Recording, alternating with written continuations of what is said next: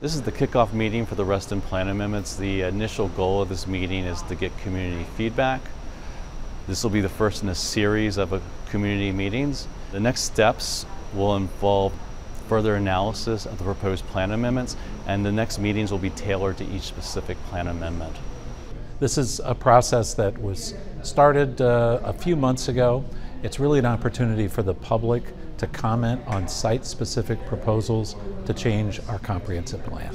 We're at a phase in the process where owners of properties are allowed to nominate themselves or nominate their property for different density levels, maybe different use, other provisions in the comprehensive plan for possible change. One very important part of vetting is what's going on in there right now.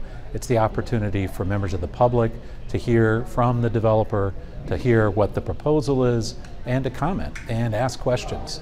So this is really important part. I, I'm very happy we had a good turnout here tonight. It's very important to me for the public to be engaged in this process because when the public's engaged, it generally means we have more community buy-in into our overall comprehensive plan, which is important for everybody so that we know what the long-term trajectory, the long-term plan is for our communities. We're happy to facilitate uh, engagement by members of the community that are interested in the future of their community.